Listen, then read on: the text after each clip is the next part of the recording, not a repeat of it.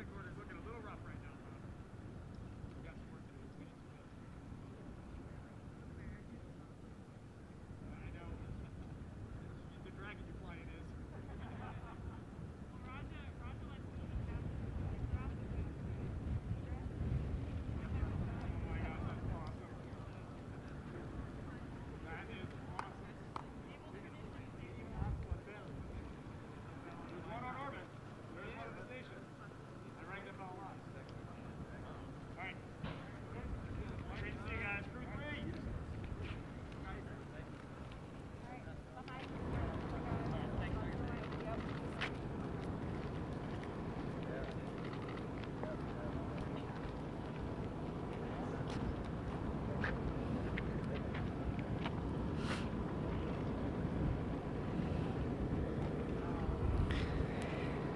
Well, good afternoon to everyone. Uh, what a gorgeous day here it is today at Kennedy Space Center's multi-user spaceport. And I want to thank all of you for coming out here today to help us welcome the Crew 3 uh, here to the uh, Kennedy um, Space Center.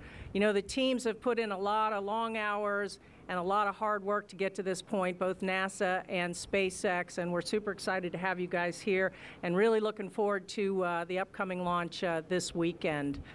Um, I'm going to turn it over now. Let me introduce somebody who really needs no introduction. Uh, he's a former center director here at the Kennedy Space Center, member of the Astronaut Hall of Fame, veteran of four space shuttle flights, and he actually was a member of the uh, crew that uh, put the first assembly mission together for the International Space Station. So with that, my hero, Bob Cabana. Thanks, Janet. Hey, it's uh, great to be home in Florida, but it's really great to have uh, Crew 3 here. Welcome, guys. This is awesome. You know, the FRR went really well. Got a few issues to work, some standard open work to get done, but uh, everything's tracking toward uh, launch very, very early on uh, Sunday morning. Uh, the work that we do together with SpaceX is absolutely amazing. The team has just been extremely responsive to everything, and uh, we got a good vehicle for you guys. It was uh, great sitting through that FRR yesterday. You know, it's really important that we establish a commercial economy in low Earth orbit so we can focus on uh, moving on, that next step, getting to the moon and beyond, going eventually on to Mars. And I'm telling you, uh, I got to see the uh, SLS stacked up with Orion on top and the VAB, and I can't wait for that launch to come too.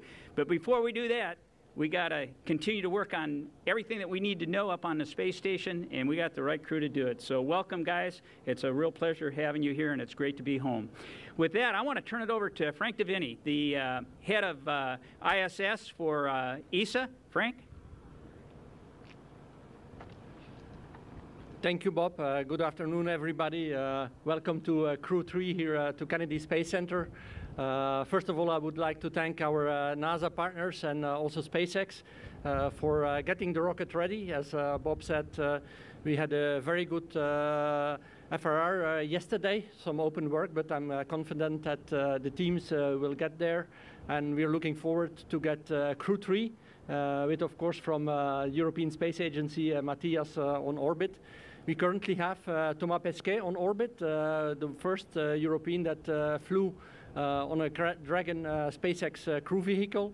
And uh, after Matthias, we will also have uh, Samantha flying uh, to orbit. So it's kind of a first for the European Space Agency to have three astronauts in a row and be permanently on, on the space station. And as we also mentioned yesterday at the FRR, this is kind of the golden age with the, the capabilities that USCV is giving us to have four USOS astronauts on orbit plenty of crew time, plenty of science uh, that we can do. Uh, and we also had uh, the MLM that was launched uh, just uh, a couple of months ago, three, four months ago, I would say, uh, with the European robotic arm. So that's also a highlight that Matthias will work on the European robotic arm, a new piece of technology that is flying from, from the ESA side out to the International Space Station. So again, very happy to be here. And uh, congratulations, guys, and looking forward to a successful launch on uh, Sunday.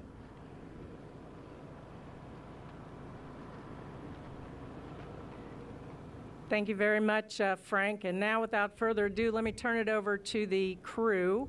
Uh, let me start with uh, the commander, Raja Chari. Thanks, uh, thanks, Janet, Bob, and Frank. we are super excited to be here at Kennedy. Uh, the last time we were here was our you know final dress and training trip, and actually I'm here with the vehicle is pretty special. Um, having an Air Force background, this is typically the time in the Air Force we call stepping to the jet. So it's you're done with the briefing, you're done with the training, and now you actually are stepping out to the aircraft, in this case, the spacecraft, and actually putting uh, feet and boots on the ground at the place where the vehicle's at. So we couldn't be happier to be here. Uh, I got to see the pad flying in, which is amazing.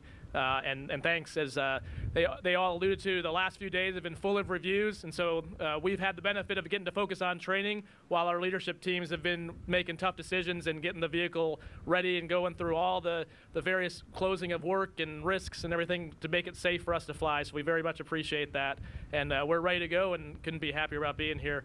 I'll turn it over to, uh, to Tom Marshburn. This will be his uh, third vehicle to fly in, which is pretty cool. So he's flown shuttle Soyuz, and now gets the pleasure to, to be our mentor here on the Crew Dragon and ready to go with us on Endurance. So over to Tom. Thank you, Raja.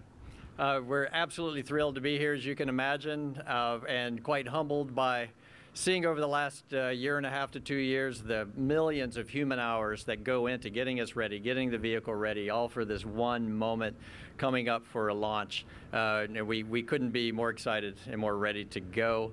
And we are ready to uh, be your next shift of deckhands on the mighty spaceship of the International Space Station. So thanks, it's great to be here. And now, uh, Kayla Barron. Hi, everybody. We're really excited to hit the deck here at KSC. I think for all of us, especially the rookies on the flight, it still feels a little surreal. Like we don't really believe that we're actually going to space here, hopefully on the early hours of Sunday morning.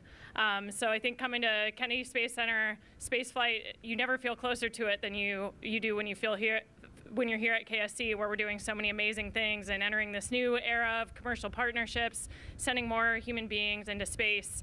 Um, and it's actually a really cool time for reflection, too, both on our personal journeys, all of the amazing people who have helped us get to this point, but also the history of the incredible things we're doing on um, here at NASA. Like Tom said, we're really excited to join the crew for Expedition 66 aboard the space station.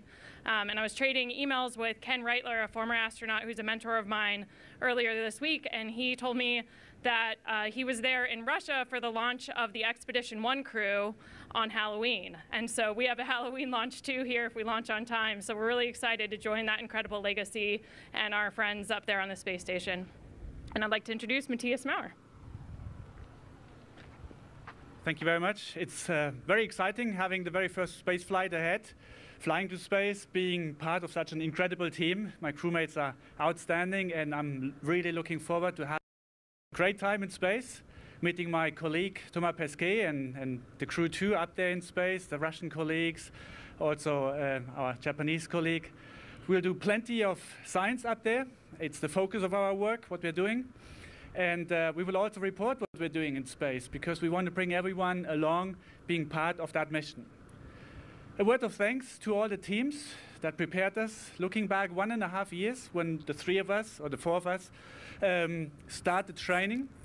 It was the beginning, or actually the, the very first phase of the pandemic and Corona. Um, it struck the entire world, but actually the, word, the, the people that organized the training and um, organized our spaceship and uh, organized also like everything that is uh, that, that makes it happen that we can fly to space now. They all make it so seem so easy for us. So um, the, the entire world was affected, but we were able to train, prepare ourselves, and now we are actually looking forward to implement what we're trained for. So uh, huge words of thanks to everyone who made this possible. Thank you.